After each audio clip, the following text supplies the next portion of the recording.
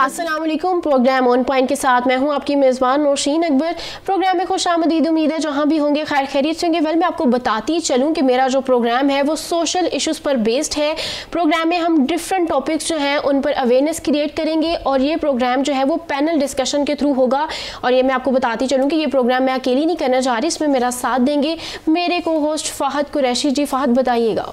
जी बिल्कुल। और जैसा कि आपने बताया कि ये सोशल इश्यूज़ के हवाले से हमारा प्रोग्राम हम्म, होगा तो इसमें हर डिफरेंट प्रोग्राम में हमारे जो व्यूअर्स होंगे उनको डिफरेंट टॉपिक्स देखने को मिलेंगे जिसपे हम डिस्कस करेंगे अपना एनालिसिस देंगे। ऐसे ही जो आज का जो हमारा प्रोग्राम है मैं तो उसके लिए काफ़ी चार्ज अप हूँ क्योंकि कुछ टॉपिक इस तरह का है जिसके हाँ। बारे में मैं बात करना चाह रहा था काफ़ी अरसे से और यकीन आप भी चाह रही हाँ बिल्कुल। और बल्कि ये जो टॉपिक है वो बहुत अच्छी जो है वो अवेयरनेस क्रिएट करेगा और हमारे साथ साथ लोग भी इसको एंजॉय करेंगे। बिल्कुल तो हम अपने पहले लिसनर्स को बता दें हाँ, या व्यूअर्स को बता दें कि क्या हमारा आज का टॉपिक है। तो व्यूअर्स मैं आपको बताती चलूँ कि आज का जो हमारा प्रोग्राम है वो जैसे कि हम सब जानते हैं कि भारत और पाकिस्तान को सियासी हरीफ बोला जाता है।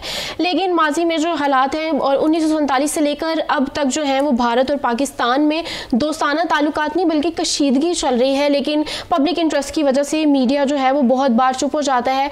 पब्लिकली चीज़ें जो हैं वो लोगों तक नहीं पहुँचाई जाती क्योंकि नेशनल सिक्योरिटी जो है वो हम सब की फोकियत में रहा है। तो भारत का और पाकिस्तान का किरदार कैसा रहा आज हम उस पर बात करेंगे कि उन्नीस से लेकर 2019 तक पाकिस्तान और भारतीय मीडिया ने अपना किरदार कैसे अदा किया है, भारत जो है, वो किस तरह चीज़ों को पोर्ट्रे करता रहा पाकिस्तानी मीडिया जो है, वो किस तरह चीज़ों को पोर्ट्रे करता रहा हम सब जानते हैं कि हमारा जो कल्चर है, उसमें चीखों पुकार नहीं है, उसमें गालम गलोच नहीं है। इस्लाम भी हमें जो है, वो गालम गलोच की इजाज़त नहीं देता, अमन का पैगाम देता है। तो हम भी जो है, वो हम अपने इस्लामी जमहूरियत जो है, वो हमारा पाकिस्तान है। तो हम इस्लाम के लिए हमने इस मुल्क को हासिल किया लेकिन अगर हम देखा जाए तो हमारा जो है, वो मीडिया बहुत महजबाना तरीके से चीज़ों को पोर्ट्रे करता है लेकिन जो भारत है आ, मुझे जो है बड़े अफसोस के साथ कहना पड़ता है कि उनकी तरफ़ से गालम गलोच शाउटिंग उनका कल्चर जो है वो मतलब पता नहीं क्यों वो चीखो पुकार करते हैं उनका प्रोपोगंडा क्या है वो टीआरपी के लिए सब कुछ करते हैं किस चीज़ के लिए करते हैं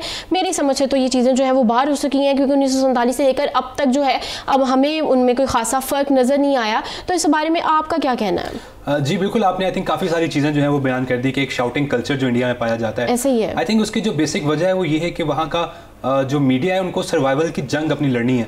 और वहाँ पे सर्वाइव करने के लिए इंडियन मीडिया के अंदर आपके लिए बहुत ज़रूरी है कि आप एक तो एंटी पाकिस्तान अप्रोच अपनी रखें हाँ। क्योंकि वहाँ की जो मोस्टली पॉलिटिकल पार्टीज़ हैं जो वहाँ का पॉलिटिकल कल्चर भी है वो थ्रू आउट यही रहा है कि आप पाकिस्तान के खिलाफ बयान दें तो आप इलेक्शन जीत के पावर में भी आ जाते हैं हम्म। पाकिस्तान के इश्यूज़ बहुत डिफरेंट है यहाँ पे रोटी कपड़ा मकान इन चीज़ों पे लोग जो है वो वोट देते हैं और अट्रैक्ट होते हैं क्योंकि यहाँ के इश्यूज़ और हैं मसले मसाइल हो रहे हैं लेकिन इंडिया के अंदर अगर आप ये नारा लगा देंगे कि पाकिस्तान के ख़िलाफ़ हम ये कर देंगे वो कर देंगे तो ये आपको पॉलिटिकली बहुत ज़्यादा सपोर्ट करता है आगे जाने की बजाय Indian media Indian media immature होता गया हाँ, ये बड़ी अफसोस की बात है वैसे। हमारा मीडिया मेच्योरिटी की तरफ़ जा रहा है। हमने डिफरेंट सिचुएशन में ये चीज़ देखी है कि हमारे हर पॉलिटिकल शोज़ में हमारे न्यूज़ बुलेटिन में हमारे एंटरटेनमेंट मॉर्निंग शोज़ जितने भी हैं जो भी हम कवरेज लोगों तक पहुँचा रहे हैं उसमें अमन का पैगाम दिया जाता है। लेकिन मैं बड़े अफसोस की बात है कि उनकी तरफ़ से ऐसा कुछ नहीं है। वो लोग इतना प्रेशर क्रिएट कर देते हैं कि एक आम इंसान जो है वो भी बॉर्डर पर जाके ना जंग के लिए तैयार हो जाता है। लेकिन मुझे लगता है कि आवाम का कोई इसमें जो है वो बुराई नहीं है। आवाम की कोई गलती नहीं है। ये मीडिया है जो उन लोगों को जंग के लिए प्रोवोक कर रहा है। क्योंकि उनकी पॉलिसीज़ ही ऐसी हैं, गालम गलोच चीखो, पुकार इतनी करते हैं, लेकिन फिर भी वहाँ पे भी इंटेलेक्चुअल लोग मौजूद हैं जो कि खुलकर इजहार करते हैं कि नहीं भाई, जंग हो या फिर कोई और सियासी कशीदगी हो, हमें नहीं करनी चाहिए, हमें अमन के साथ रहना चाहिए, लेकिन जैसे हम सब जानते हैं कि friends can be change but neighbour can't तो मुझे लगता है कि इंडिया में भी वो ना पड़ोसी वाली आगे की नोक चोक तो लगी रहनी चाहिए। बिल्कुल आई थिंक जिस तरह के हमने कहा कि हम, थोड़ी सी मैंने बात जो कल्चर की हमने की है बेसिकली uh, मैं चाहता था हम आगे चल के कल्चर को डिस्कस करें लेकिन आपकी बात से मुझे एक बात याद आ गई हम्म। आपको याद होगा कि कुछ टाइम पहले इंडिया के एक मारूफ अदाकार हैं आमिर खान हाँ। उन्होंने एक बयान दिया था कि मेरी बीवी ने मुझे कहा है कि हम इंडिया से चले जाते हैं क्योंकि यहाँ पे इनटॉलरेंसी बहुत ज़्यादा है तो एक इनटॉलरेंट नेशन और उनको एक जो है उनकी फ़िल्म जो थी जब रिलीज़ हुई तो उसके बाद उनको ये सूरत हाल हाँ, से गुजरना पड़ता। हाँ हाँ। उसमें उन लोगों ने सब कल्चर्स के बारे में बता दिया था कि कोई भी कल्चर जो है वो लड़ाई गालम गलो चीखो पुकार और मार पीट की इजाज़त नहीं देता। तो वहाँ पर जो है उनको इस चीज़ के लिए बहुत ज़्यादा नुकसान उठाना पड़ा। हम सब जानते हैं कि अगर मुसलमानों की कोई जो है वो हिमायत कर देता है तो इंडिया को ये चीज़ हज़म नहीं होती। वो लोग वहाँ पर मौजूद जो पाकिस्तानी हैं या फिर मौजूद मुसलमान हैं उन लोगों के ऊपर जुल्म करना शुरू कर देते हैं बिल्कुल और जिस तरह हमने इंडियन मीडिया और पाकिस्तानी मीडिया को डिस्कस कर रहे हैं तो क्योंकि हम सहाफ़त के तालब इल्म भी हैं स्टूडेंट्स हाँ, भी हैं है। तो हमारे लिए ये जब हम क्रिटिसाइज करते हैं अपने मीडिया को या यहाँ की खामियाँ बयान करते हैं तो उसकी वजह ये होती है कि हम चाहते हैं कि हमारी जो फ़ील्ड है ये जो जर्नलिज्म है ये आगे बढ़े जब आप अपनी गलतियाँ खुद एड्रेस करते हैं तो हम्म। आगे आगे की तरफ़ जाते हैं और हम इंडियन मीडिया पे देखते हैं कि गलत रिपोर्टिंग हो जाती है तो फिर वो उस पर जिद हो उस जिद्दी जो नेचर है उनकी वो सामने आती है वो फिर उस चीज़ को डिफेंड करेंगे। और वो बार बार डिफेंड करेंगे जब तक कि उनकी ऑडियंस उस बात को मान ना ले के सच है। और इसको हम बहुत बार हाँ, बिल्कुल। मैं वही बता रही थी कि फहद बहुत बार तो ऐसा होता है कि वो लोग इतना हाइप क्रिएट कर देते हैं कि भारत में ही उनकी सियासत पर जो है वो सवाल उठना शुरू हो जाते हैं कि भारतीय मीडिया फिर जवाब नहीं दे पाता। उनकी रिपोर्टिंग में बहुत सारी ऐसी एनिमेशन होती हैं बहुत सारी ऐसी चीज़ें होती हैं जो उनके लिए ही ना फांसी का फंदा बन जाती है। प्रेशर क्रिएट होता है, आवाम जो है, आम, आवाम जनता जिसको वो बोलते हैं, घर आकर अगर वो लोग बैठे हैं सुकून करने के लिए, अगर उन्होंने टीवी चैनल ऑन किए तो फिर वहाँ पे भी शोर शराबा, सड़कों पे भी शोर शराबा तो उनकी ज़िंदगी में सुकून कहाँ है? एटलीस्ट कुछ तो आवाम के लिए रिलीफ देना चाहिए, अमन की बात करनी चाहिए, बताना चाहिए कि अगर हम अपने मुल्क में रहते हुए ये चीज़ कर लेंगे तो हमारा मुल्क जो है, वो तरक्की की राह की तरफ़ गामजन होगा। लेकिन ऐसा नहीं है, जबकि दूसरी तरफ़ अगर हम भारत को देखें तो वो जमहूरियत का बड़ा दावेदार बनता है कि पूरी दुनिया में हमारी जमहूरियत जो है वो नंबर वन पर है हाँ। लेकिन दोस्ताना रवैया तो मैंने आज तक कभी नहीं देखा कि उनकी तरफ़ से दोस्ताना रवैया जो हो चाहे वो कश्मीर हो चाहे वो मुसलमान हो चाहे वो पाकिस्तानी हो या फिर इंडिया में मौजूद मुसलमान हो मैंने कभी उनके अंदर दोस्ताना जो है वो अवाम दोस्त एजेंडा मुझे नहीं नज़र आया। और जब हमने ये डिसाइड किया था कि हम इंडिया पाकिस्तान की मीडिया को डिस्कस करेंगे तो मैंने कोशिश की कि मैं कुछ इंडियन चैनल्स देखूँ और डिफरेंट सिचुएशंस हम्म। में उन्होंने किस तरह से रिएक्ट किया वो देखूँ। तो मैं अपने तमाम व्यूअर्स को ये बताना चाहूँगा कि वो जो आधा घंटा एक घंटा था जिसमें मैंने कुछ इंडियन चैनल्स पाँच पाँच मिनट के लिए लगाए मेरी ज़िंदगी के शायद सबसे वो सख्त तरीन हाथ थे। क्योंकि मुझे नहीं पता कि मेरे कानों ने वो कैसे सुना और मेरी आँखों ने वो कैसे देखा। क्योंकि आप मुझसे प्रोग्राम में मुझे बुलाएँ एज गेस्ट और आप मुझसे कहें कि मेरा नाम क्या है और मैं आपको बताऊँ मेरा नाम फ़हद है और आप मुझसे फिर पूछे नहीं आपका नाम क्या है? हम्म। और आप मुझसे दस बार पूछे जब तक कि मैं आपको अपना नाम बीस बार ना बता दूँ और उसके बाद आप कहें कि मैं ये आर्ग्यूमेंट जीत गया हूँ।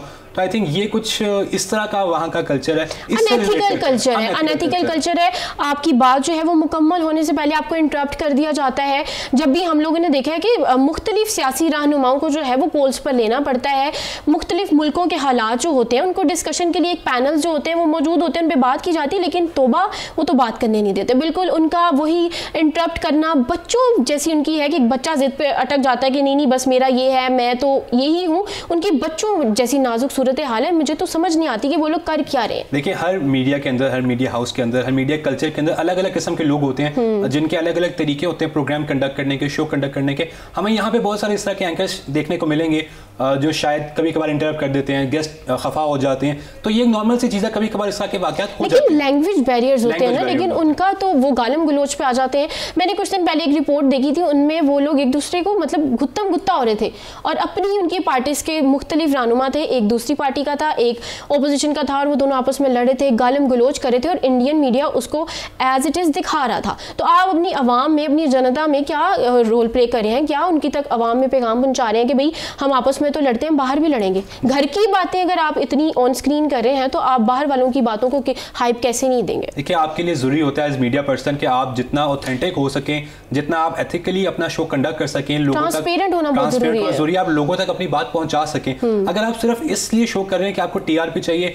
आप इसे टीआरपी भी कमा लेंगे, आप पैसे भी कमा लेंगे, आप नाम भी कमा लेंगे, सोशल मीडिया पे आपकी फॉलोइंग भी हो जाएगी। मैं आज दो शो इस तरह के करूँ जो इंडिया के खिलाफ और जितनी भी लोग जो इस चीज़ को सपोर्ट करते हैं मेरे फॉलोअर्स बहुत ज़्यादा हो जाएँगे ट्विटर पे फेसबुक पे सब जगह। लेकिन क्या ये मुझे एथिकली सेटिस्फाई करेगी चीज़? यार मैं किस तरफ़ जा रहा हूँ? अगर मुझे इस हैशटैग को प्रमोट करना है कि war is the new thing या हम्म। मुझे इस हैशटैग को प्रमोट करना है कि से नो टू वॉर ये मेरे पे डिसाइड करना कि मैं अपनी अपनी सोच के मुताबिक क्या सोचता हूँ। दोनों मुल्क न्यूक्लियर पावर है। हम एज अ पाकिस्तानी पाकिस्तान की अफवाज को पाकिस्तान की पुलिस को हम्म। पाकिस्तान की हुकूमत को हर मुश्किल टाइम पर सपोर्ट करते हैं एज मीडिया पर्सन भी। क्योंकि ये हमारा आ, हमारा ये राइट है कि हम अपने मुल्क को सपोर्ट करें। इसी तरह हिंदुस्तान के लोगों का ये राइट है कि वो अपनी हुकूमत को सपोर्ट करें लेकिन हमें ये चीज़ ध्यान में रखनी चाहिए कि हम सही के साथ भी खड़े हों कहीं ना कहीं। सिर्फ़ इस बात पे क्योंकि हम कर रहे हैं और हमें अपने मुल्क का साथ ही देना है। तो क्योंकि बात गलत ही क्यों ना हम उसको बार बार डिफेंड करें। फिर सोशल मीडिया पे हम अब्यूजिंग कल्चर देखते हैं। हम्म। आप कोई अच्छे से अच्छा कमेंट भी कर दें कोई अच्छे से अच्छी ट्वीट भी कर दें उसके नीचे आपको हंड्रेड्स की तादाद में गालियाँ मिलने मिलती हैं। वहाँ पे आज़ादी नहीं है ना अपनी बात रखने की। और यहाँ पे मैं एड ऑन करती हूँ कि कश्मीर का जो है अभी तक हम वहाँ पर एक जो है वो कशीदगी चल रही है। अभी तक जो है वो अनरिजोल्व है। वहाँ पर उन्नीस से लेकर अब तक जो है वो वहाँ पर कोई भी बेहतरी मुझे नहीं नज़र आ रही है। फ्रीडम फाइटर्स जबकि कश्मीरियों को बोला जाता है, लेकिन स्टिल उनकी सिचुएशन जो है वो बड़ी ख़तरनाक है। बच्चों पर उन जुल्म किए जाते हैं, बड़ों पर जुल्म किए जाते हैं, औरतों पर जुल्म किए जाते हैं, उनकी बेनाई छीन ली जाती है। और अगर मैं कहती हूँ छोटू टू से उनकी रास्ते में कोई चलता हुआ बंदा एक दूसरे पर तशद कर देता है, मुझे तो अब यहाँ तक लगता है कि जितनी जल्दी इंडियन मीडिया कहते हैं ना, ये आतंकवादी हैं, या आतंकवादी है, मुझे लगता है रास्ते में कोई एक्सीडेंट से भी खुदा ना खास्ता उसकी मौत हो जाती है, वो मर जाता है तो उसको भी आतंकवादी कहते होंगे कि ये कार चलाने वाला आतंकवादी है। कश्मीरियों पर इतना जुल्म होता है तो वो कहते हैं, अगर वो अपनी अपने हकूक के लिए लड़ते हैं। यूनाइटेड नेशन ने 1948 में उनको फ्रीडम फाइटर करार दे दिया था। अगर वो अपने हकूक के लिए लड़े हैं, फिर भी उसको जो है वो ज़बरदस्ती अपने साथ रखा हुआ है कि नहीं, भी कश्मीर तो हमारा है। उनतीस सूबे हैं, उनमें बहुत सारी अवाम बिलो द बेल्ट ज़िंदगी जी रही है। उनको तो आप पहले सही से दें, उनको तो हकूक दें, उनको तो खाने पीने की सारी चीज़ें मुहैया करें। आप कश्मीर के ऊपर लड़ने बैठ गए। आए दिन कश्मीर में जो है वो जुल्मी बरबरी जो है वो इंतहा पर पहुँची होती है। तो इस हवाले से मुझे नहीं लगता कि आपको कहना चाहिए बैठ के टेबल टॉक करनी चाहिए अमन का पैगाम देना चाहिए हम कर क्या रहे हैं जी और कश्मीर पर जो रिपोर्टिंग होती है क्योंकि हमारा टॉपिक आज ज़्यादा मीडिया के हवाले हाँ। से है हाँ। तो कश्मीर पर जो रिपोर्टिंग जिस तरह से इंडियन मीडिया करता है और ये बताया जाता है कि कितना वहाँ पे सुकून है और इस तरह का कोई इशू नहीं है हालाँकि वहाँ पे जितना जुल्म और बरबियत की जाती है वो चीज़ दुनिया को दिखाने में पाकिस्तान का मीडिया कितना कामयाब रहा है पिछले कुछ अरसे में और अब क्या उसमें फ़र्क आया है इस बारे में भी हम डेफिनेटली डिस्कस करेंगे क्योंकि हमने पिछले कुछ अरसे में अपने मीडिया को इतना कामयाब नहीं देखा। कश्मीर का इशू पुट ऑन करने में, दुनिया के सामने। लेकिन अब जिस तरह से पाकिस्तान का मीडिया हमने बात की मेचोरिटी की तरफ़ जा रहा है इंडियन मीडिया इमेच्योरिटी की तरफ़ गामजन है तो पाकिस्तान ने बहुत अच्छा ये इशू अब दुनिया में प्रमोट किया। और हमने आपको याद होगा एक टाइम पे एक कैंपेन चली थी जिसमें बॉलीवुड एक्टर्स का फेस उन्होंने दिखाया हुआ था जिसके ऊपर वो छोटी छोटी बुलेट्स। थी क्योंकि कश्मीरियों के ऊपर ये ज़्यादा की गई थी। हम्म। तो ये चीज़ इस तरह से पाकिस्तान ने सोशल मीडिया के थ्रू प्रमोट किया। हम लोग as a person as a media person हमेशा यही चाहेंगे कि दोनों मुल्कों के दरमियान अमन हो पीस हो हम एक दूसरे की इकोनॉमी में हेल्प करें क्योंकि नेबर्स हाँ, हैं आप अपनी जोग्राफिकल सिचुएशन चेंज नहीं कर सकते हैं। ठीक है यहाँ पर जो है वो हमने बहुत सारी चीज़ें डिस्कस कर ली हैं। हमने अवेयरनेस क्रिएट की है लेकिन यहाँ पर मुझे जो है वो एक ब्रेक पर जाना है तो उसके बाद हम अपना डिस्कशन करेंगे। तो नाजरीन हमने जो है वो टी आर पी प्रोपोगेंडा और अवाम दोस्त एजेंडा पाकिस्तान की तरफ़ से और भारत की तरफ़ से किस तरह पोर्ट्रे किया जा रहा है अवाम जो है वो किस तरह हमारा जो है वो किरदार अदा करी है उनकी भारत की अवाम किस तरह अदा करी है ये सारी चीज़ें हमने डिस्कस की लेकिन यहाँ पर वक्त हुआ है एक ब्रेक का हमारे साथ रहिएगा।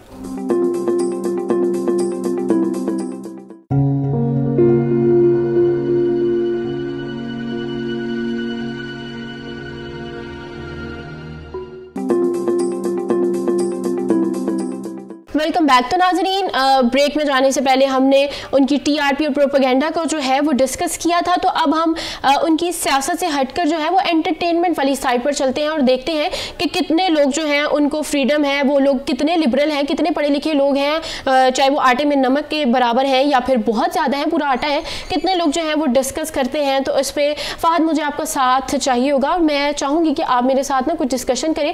जैसे कि हम सब जानते हैं कि पाकिस्तानी अदाकार हों या सियासतदान हो, वो खुलकर इजहार करते हैं, चाहे वो मुल्क में रह रहे हो या मुल्क के बाहर रह रहे हो। वो अमन का पैगाम देते हैं, अगर किसी ने कुछ अच्छा किया है तो पाकिस्तानी अदाकार जो हैं, वो सराहते हैं। लेकिन फिर वही बात है कि अगर पाकिस्तानी जो उनका इंडियन मीडिया है, ज़रा सी कोई बात हो जाए, भारत में कोई कशीदगी वाली सूरत हाल पैदा हो जाए तो वो भारत में पाकिस्तानी अदाकारों को आना बंद कर देते हैं कि अदाकार वहाँ पर जा नहीं सकते हैं। उनके अदाकार अगर अमन का पैगाम देते हैं तो उनको थ्रेड कॉल्स आना शुरू हो जाती हैं? उनकी ज़िंदगी को जो है वो ख़तरा हो जाता है। तो ये क्या ये क्या कि, कि, किस तरह किस तरफ़ ये जा रहे हैं? देखिए मैं इस पर थोड़ी सी लंबी डिस्कशन करना चाहूँगा अगर आप मुझे बात हाँ, बिल्कुल। एक डिप्लोमेसी है जिसको हम कहते हैं क्रिकेट डिप्लोमेसी और बॉलीवुड डिप्लोमेसी जो कि इंडिया में टर्म्स बहुत ज़्यादा फ़ेमस हाँ। है।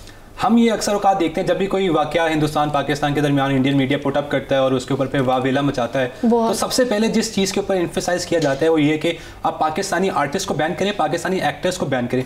यहाँ पे भी हमारे मीडिया में बहुत सारे इस तरह के लोग हैं जो पसंद नहीं करते कि पाकिस्तानी आर्टिस्ट वहाँ जाने हाँ, बहुत सारे अदाकारों ने जो अपना बयान दिया कि हम नहीं जाएँगे। और अगर आप मेरी पर्सनल ओपिनियन मांगे तो मैं यही कहूँगा कि आर्ट की कोई बाउंड्री नहीं होती। हम्म। आप आप सबकी अपनी चॉइस है कोई जाना चाहता है कोई नहीं जाना चाहता लेकिन ये उसकी चॉइस है। आर्ट हम्म। की कोई बाउंड्री नहीं होती क्योंकि अगर पाकिस्तानी आर्टिस्ट को बुलाया जा रहा है वहाँ पे अली ज़फ़र को बुलाया जाता है आतिफ असलम को बुलाया जाता है मायरा खान फवाद खान तो इनका आर्ट पाकिस्तान में ऑलरेडी फ़ेमस था इन्होंने कुछ अचीव किया हुआ था। हमारे सिंगर्स ने वहाँ पर जाकर अपना नाम बनाया जी और तो आपको आपकी सर्विसेज़ के लिए पैसे दिए जाते हैं पे किया जाता है। अगर वहाँ पे कोई शीदा सूरत हाल होती है तो उन लोगों के गाने निकलवा दिए जाते हैं उनकी जो एक्टिंग का पार्ट होता है वो निकलवा दिया जाता है। तो ये ये किस तरह का देखिए ये डबल स्टैंडर्ड्स है। ये इंडियन मीडिया के डबल स्टैंडर्ड शो करता है कि आपने पाकिस्तानी आर्टिस्ट के गाने तो हटा दिए तो। फिर आप वो गाने क्यों नहीं हटाते जो आपने पाकिस्तानी मीडिया के कॉपी किए हैं? हम्म, आप वो भी हटाइए। शुरू से हमारे जो लेजेंड्स के गाने हैं वो उनको कॉपी किया जाता है। जी बिल्कुल। आप वो मूवीज़ क्यों नहीं हटाते इंटरनेट से जो आपने पाकिस्तान की कॉपी की? हम्म। आप वो मूवीज़ क्यों नहीं हटाते जहाँ आपने पाकिस्तान का कंटेंट उठाया?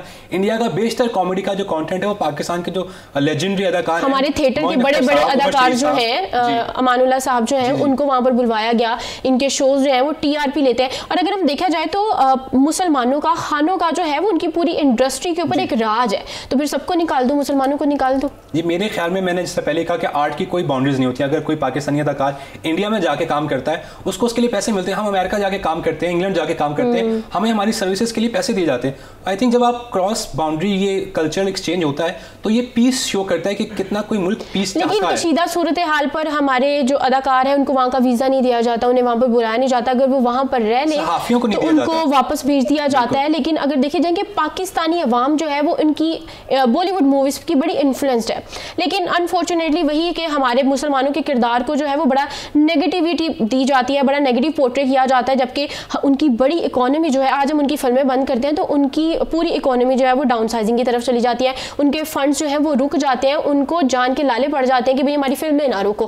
पिछले दिनों में भी जैसे हमारा सिनेमा बहुत बार ऐसा होता है क्योंकि बात होती है तो सिनेमाज में उनकी मूवीज़ लगना बंद हो जाती हैं तो उनको जान के लाले पड़ जाते हैं तब ये बिल्कुल सीधे हो जाते हैं। तो इस बात पर ये मुझे नहीं समझ आती है कि क्यों क्यों करते हैं हमारे जो अदाकार उनको रोक दिया जाता है अपनी फ़िल्में जो जब होती हैं बंद होती हैं तो जान के लाले पड़ जाते हैं। देखिए मेरा तो एक सिंपल सा एनालिसिस है इसके ऊपर कि अगर आपने पाकिस्तानी अदाकारों को बैन करना है पाकिस्तानी गुलकारों को बैन करना है हाँ। और उनके गाने हटा देने हैं मूवीज़ हटा देनी है तो आप फिर वो सारी मूवीज़ और गाने भी हटाएँ जो आपने हमारे कॉपी किए हैं। और बिना राइट्स के कॉपी करते हैं। आप याद होगा अमजद साबरी साहब हमारे साथ नहीं रहे अब इस दुनिया हाँ, में। हाँ, उनकी जो मशहूर जमाना कवाली है वो एक फ़िल्म में अदनान समी साहब ने जो कि अब दोस्ताना बड़ा मेजर अदनान समी साहब काफ़ी ज़्यादा ये सोशल मीडिया पे पिछले दिनों चलता रहा है। तो ये चीज़ भी आप फिर देखें और साथ ही साथ क्रिकेट डिप्लोमेसी लीडरशिप बहुत ज़्यादा मैटर करती है। चाहे वो बॉलीवुड हो क्रिकेट हो क्योंकि इनकी इंडस्ट्री बॉलीवुड की बहुत बड़ी है इनकी क्रिकेट हम्म। की फटर्निटी बहुत बड़ी है। अगर हम पाकिस्तान से कंपेयर करें लेकिन हमारे यहाँ जो एक थोड़ा सा सोबर नेचर इन सब चीज़ों में पाया जाता है।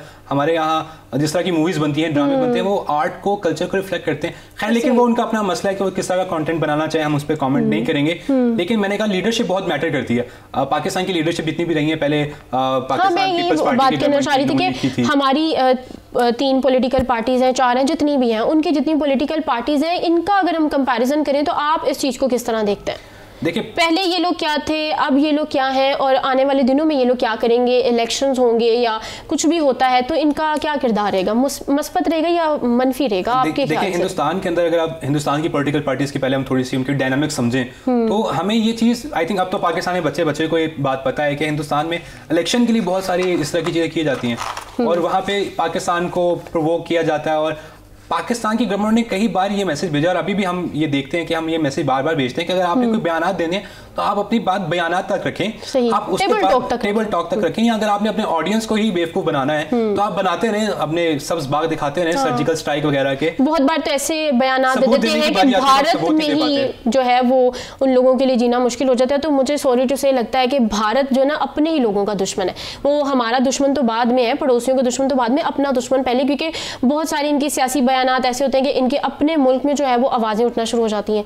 दंगा जो है वो फसाद होना शुरू हो जाता है। आपने कभी ये चीज़ नोट की है कि जो आई एस पी आर जो है जब भी कोई ऑपरेशन करती है दहशतगर्द दहशत गर्द तंजीम के खिलाफ या कहीं भी सबसे पहले उसके बाद आके प्रेस कॉन्फ्रेंस करती है, है। सारी चीज़ें दिखाई जाती है वहाँ पे सारे सबूत दिखाए जाते हैं। जगह दिखाई जाती है। सब चीज़ें प्रॉपरली प्लान करके दिखाई जाती है। लेकिन हिंदुस्तान ने जितने भी दावे माजी में किए कि हमने पाकिस्तान में जाके ये किया वो किया आपने एक चीज़ भी देखी कि इंडियन आर्मी ने या इंडियन मीडिया ने वो दिखाई हो जिससे ये बात स्टैब्लिश हो गई हो साबित हो गई हो कि ऐसा वाक्य वाकई पेश है। जब कुछ सैटेलाइट से फुटेजेस आती हैं या सी एन एन बीबीसी जैसे इदारे इस चीज़ को हम्म। दिखाते हैं तब इंडिया को इंटरनेशनली शर्मिंदगी का सामना जो है वो करना पड़ता है। हम यही बात करें कि लीडरशिप बहुत मैटर करती है। पाकिस्तान में तीन हुकूमतें हम अब देख चुके हैं। हम्म, सबसे पहले पीपल्स पार्टी की गवर्नमेंट थी नून लीग की थी पीटीआई की थी। तो हमने ये चीज़ ज़रूर देखी है कि आप पॉलिसीज़ पे क्रिटिसाइज कर सकते हैं हर पार्टी के डिफरेंट इशू को हम्म। लेके कि उन्होंने गुर्बत के लिए क्या किया इकोनॉमी के लिए क्या किया। लेकिन हमने एक चीज़ जो इन सब में नोट की है कि हर मुश्किल हालात में क्योंकि हिंदुस्तान पाकिस्तान के मुश्किल हालात आते ही रहते, हैं, रहते हैं। और हम आगे भी प्रिडिक्ट कर सकते हैं कि आएँगे।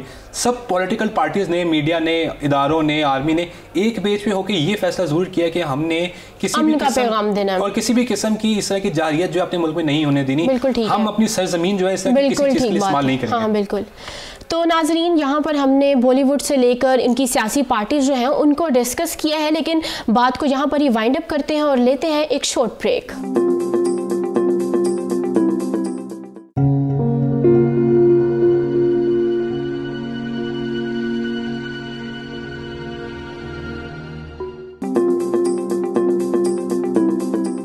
वेलकम बैक नाजरीन। तो मैं अब फ़ाहद से ये पूछना चाहूँगी कि हमारी हुकूमत में जो है वो तब्दीली तो आ गई है तब्दीली आ नहीं रही तब्दीली आ गई है। एक नया पाकिस्तान जो है वो उसका दौर शुरू हो गया ये उन्नीस वाला पाकिस्तान नहीं है।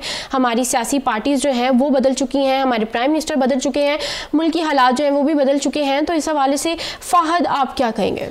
देखिए मैं आने वाले वक्तों में अगर 10-20 साल प्रिडिक्ट करूँ तो मैं पाकिस्तानी मीडिया को बहुत स्ट्रॉन्ग होल्ड के तौर पे देख रहा हूँ। हम्म। और मीडिया जैसा कि आपने कहा कि फोर्थ पिलर होता है किसी भी स्टेट का तो पाकिस्तानी मीडिया जो है वो बहुत इंपॉर्टेंट रोल प्ले करेगा आने हम्म। वाली तमाम सिचुएशंस के लिए और आई थिंक हम भरपूर तरीके से तैयार हैं जिस तरफ़ है। हमारा मीडिया जा रहा है क्योंकि हम मेजोरिटी की तरफ़ जा रहे हैं जी लीडरशिप बहुत ज़्यादा मैटर करती है हम्म। हिंदुस्तान में आने वाले वक्तों में भी कोई मुझे खातिर खा लीडरशिप नज़र नहीं आ रही हम्म। अभी नरेंद्र मोदी साहब हैं और जिनका प्रोपोगेंडा ही ये है कि मैं एंटी पाकिस्तान बोलूँ एंटी पाकिस्तान हरकतें करूँ और वोट एंटी टेररिस्ट ग्रुप जो है वो उन्होंने बना दिए हुए हैं जब भी जरा सी कोई बात होती है कोई भी नाजुक सूरत हाल पैदा होती है तो वो जो वहाँ की आवाम है उनके ऊपर जो है वो जुल्म करना शुरू कर देते हैं। वो एंटी टेररिस्ट ग्रुप जो थे वो मुसलमानों को कहते हैं आप भी निकलो यहाँ से। बल्कि उनके वहाँ पर इतनी बड़ी तादाद जो है वो मुसलमानों की है। ईद आती है कुर्बानी होती है वहाँ तब उनके ऊपर जुल्म किए जाते हैं कि भाई आपने गाय जबा कर दी ये कर दिया। हर कल्चर है हर चीज़ अपनी है उसको उस तरीके से जीने देना चाहिए। हम बच्चों पर या अपने घर पर इतना कंट्रोल नहीं कर सकते तो फिर हम एक पूरी नेशन को कैसे दबा सकते हैं? देखिए यही बात है और हिंदुस्तान में पाकिस्तान से ज़्यादा मुसलमान रहते हैं। ऐसा ही उनकी आबादी बहुत बड़ी है। हम्म। हिंदुस्तान को इस चीज़ पे ज़रूर ध्यान देना चाहिए हम्म। कि पाकिस्तान और हिंदुस्तान जंग अफोर्ड नहीं कर सकते। ऐसा ही है। हमने आगे की तरफ़ जाना है और उनके मीडिया के लिए स्पेशली मेरा ये प्रोग्राम है स्पेशली हमारा ये डिस्कशन आज की रही है। कि आप इस चीज़ को समझने की कोशिश करें कि पाकिस्तान और हिंदुस्तान ने अपने आप को बेहतर करना है। बहुत सारे गरीब लोग पाकिस्तान में हिंदुस्तान में जिनको दो वक्त की रोटी नहीं मिल पाती। ऐसे ही है। तो जो है वो ज़िंदगी तो गुजारे। उनतीस सूबे हैं हम एक टेबल पे आके इस बारे में बात करें कि हमने गरीबी को किस तरह मिटाना है ट्रेड हाँ। किस तरह से करनी है ना कि हम इस तरह की फजूलियात में कि हमने जंग किस तरह से करनी है। दोनों मुल्क न्यूक्लियर पावर है। अगर हाँ। आपके बीच न्यूक्लियर जंग होती है तो दोनों मुल्क इस रीजन को कितना अफेक्ट करेगी ये न्यूक्लियर वॉर हमें इस चीज़ को समझना चाहिए। पाकिस्तान ने थ्रू आउट चाहे वो पाकिस्तान के आर्मी चीफ हो या पाकिस्तान के वजी अजम हो या अपोजिशन लीडर हो तमाम पार्टीजों सबने ये मैसेज दिया है कि हम अमन चाहते हैं डिप्लोमेटिकली पाकिस्तान ने इंटरनेशनली ये बताया है कि पाकिस्तान इस टाइम पे राइट साइड पे खड़ा है हिंदुस्तान और पाकिस्तान के मसले मसाइल को लेके।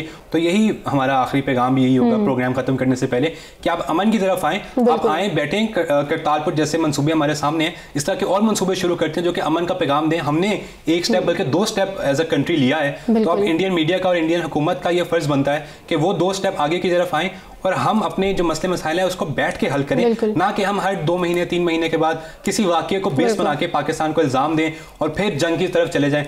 तो पीस जो है वो प्रिवेल करना चाहिए सेंस जो है वो प्रिवेल करना चाहिए। इस तरह की अहमको जैसी बातें हिंदुस्तानी मीडिया पे जो होती हैं उसको अब आई थिंक वक्त आ गया कि इंडियन मीडिया आगे जाए। मेचोरिटी दिखाए और अमन के इस पैगाम को दुनिया भर में पहुँचाए और ये बताए हाँ, कि हिंदुस्तान भी उतना ही अमन चाहता है हम्म। जितना पाकिस्तान चाहता है। बहुत शुक्रिया फाहद। आज आपने अवेयरनेस क्रिएट करने में मेरा भरपूर साथ दिया। मैं आपकी बहुत शुक्रगुजार हूँ। बहुत शुक्रिया। नाजनीन आज का जो हमारा टॉपिक था वो भारत और पाकिस्तानी मीडिया का किरदार था। तो हमने जो है वो वाजे पॉइंट्स आपके सामने रख दिए हैं कि भारत ने क्या किरदार अदा किया और पाकिस्तान ने क्या किरदार अदा किया है। इसमें फ़हद ने जो है वो बहुत से अहम पहलुओं पर रोशनी डाली। मैंने भी उनका साथ दिया, हमने आप तक अवेयरनेस क्रिएट कर दी है।